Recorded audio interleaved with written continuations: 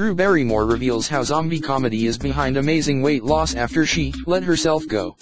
The Santa Clarita Diet star lost 20 pounds while filming the show. Drew Barrymore has revealed how her new Santa Clarita Diet show has helped her lose weight after she let herself go.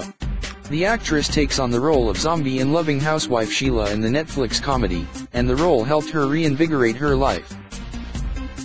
It came sort of at a moment in my life where I had sort of let myself go due to personal circumstances, and I thought, I could come alive with Sheila, she said on the Today Show.